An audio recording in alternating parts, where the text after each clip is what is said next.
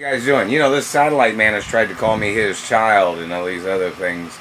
And, uh, you know, ask you some information of when he thought I was born in reference to factuality of information. And ask him how tall he is and how tall he thinks that my real parents are.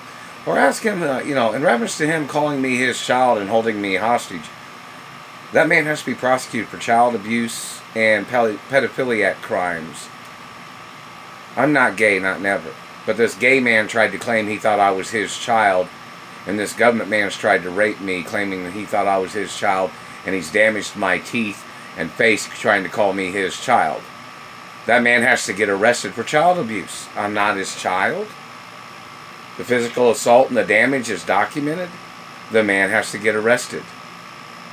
And he can get charged for fabricating he thought I was his child. The satellite man has been burning my face and teeth and and other things they've done to me.